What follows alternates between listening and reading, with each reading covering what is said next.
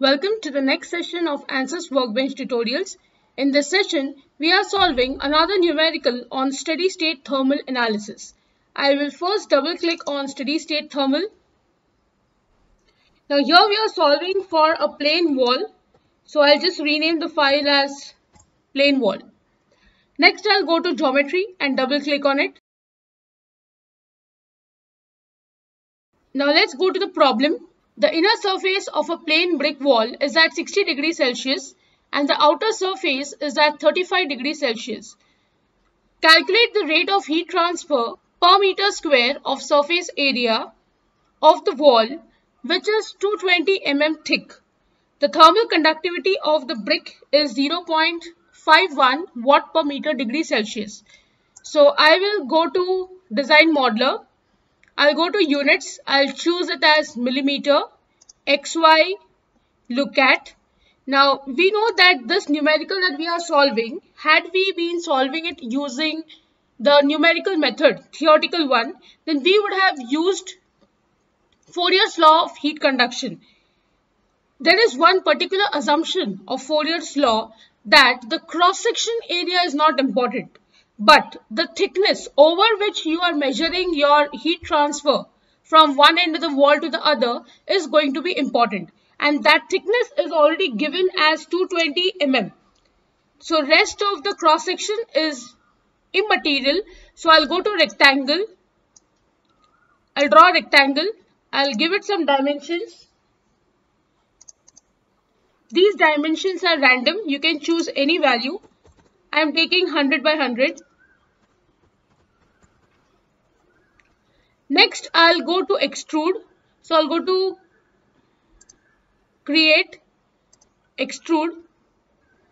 I'll select the sketch that I've just made, sketch 1, apply. Now here, this depth that I'm giving is very important.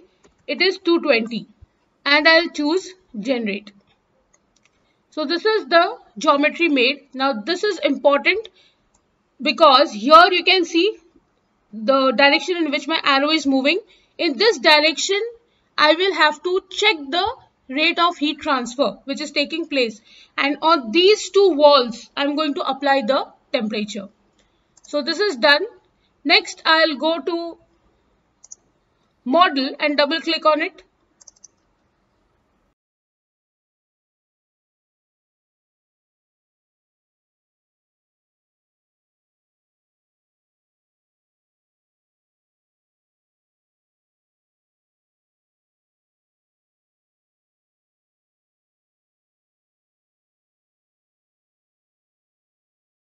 Now I'll go to mesh. I'll select the sizing as fine and update.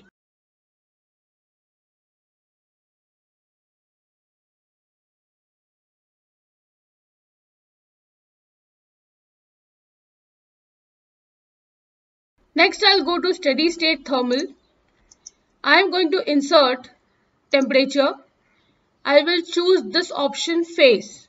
I'll select here, apply and one end was 60 as given and the other end is 35. Next I'll choose this side, right click, insert temperature and this value is 35. Apart from temperature, no other data is given. But here it is given that the material of the wall is brick. So I will have to apply a new material because if you select this geometry or solid over here, you can see the assignment of material is by default structural steel. I need to change it. So I'll click here, new material. Okay. This is taking me to engineering data. I'm going to add a new material here. Let me rename it as brick. I need to give it some property. So I'll go to thermal, isotropic thermal conductivity. The value is given in the question as 0.51 watt per meter degree Celsius. You can check the unit here. So this is done. Next, I'll go to project. In the model, I'll right click, update. So the material now gets added in my model. Or you can also update project over here. Either way you can do it. Next, I'll go to model And when I see the solid now, if I click on this button, I can see brick and this brick has now been applied to this wall. Next, I'll go to solution, right click, insert, thermal, temperature and the question asks for calculating total heat flux. So I'm going to click on it. Next, I'll go to solution, solve.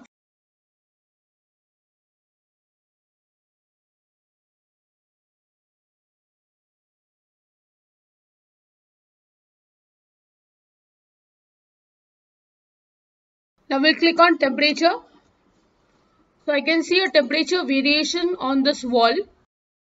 Also we can check the total heat flux. The value that we obtain over here is 57.955. That is a constant value over this entire body. We will go to this question and here you can see this is a solution which I have obtained by using numerical calculation. So I have just marked the value here for your reference and the value that I obtained by theory and by answer solution is exactly the same. It is 57.95. So this proves that the ANSYS which I have got through ANSYS is correct. If you want, you can solve this question by using a very simple formula that is Fourier's law. That is Q is equal to minus Ka dt by dx. So this is the formula for calculating Q. Now we always take a negative sign because that shows the temperature which is final.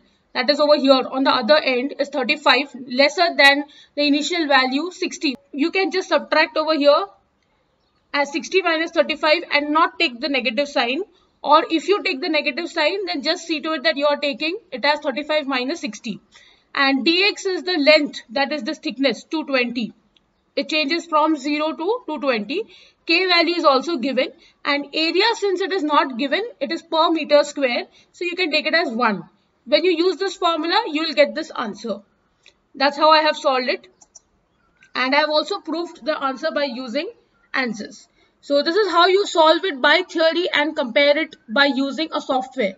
So with this i end the session. I hope you have understood the procedure for solving this kind of a question if you have any doubts, please write to me in the comment section. Don't forget to like, share and subscribe to my channel. Hit the bell icon for latest updates of my videos. See you in the next session. Thank you.